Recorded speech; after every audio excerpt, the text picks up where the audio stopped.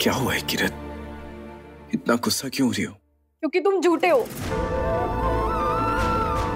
नहीं किरत मैंने तुमसे कोई झूठ नहीं बोला है। तुमने कहा था तुम मेरे साथ हमेशा रहोगे। हाँ किरत मैंने कहा था लेकिन अब लेकिन अब अब तुम्हारी शादी वीर के साथ हो रही है।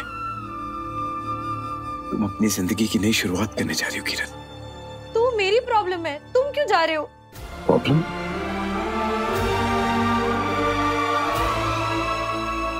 वीर के इतने सारे दोस्त आ रहे हैं शादी में। मेरा कोई नहीं है। मेरा तुम्हारे सिवा कोई दोस्त नहीं है, गैरी। तुम कहीं नहीं जाओगे। तुम्हें रुकना होगा। ये दिल्ली विल्ली जाने का प्लान कैंसिल करो।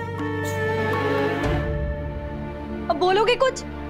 कि जूस की जगह गोंद की शीशी पी ली थी। होठ चिपक गए हैं क्या? बोलो कि तुम कहीं नहीं जाओगे। मेरी कसम खाओ कि तुम मुझे छोड़ के कहीं नहीं जाओगे। आई एम सॉरी किरत मैं तुम्हारी शादी होते हुए नहीं देख सकता। मैं यहाँ नहीं रुक सकता किरत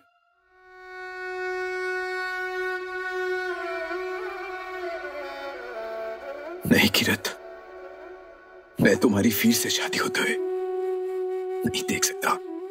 मैं यहाँ नहीं रुक सकता। गैरी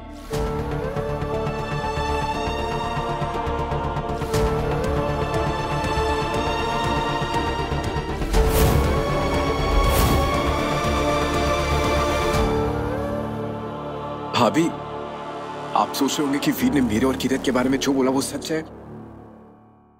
लेकिन ऐसा कुछ नहीं है भाभी। भाभी, मैंने किरत को कभी मैन्युपुलेट नहीं किया।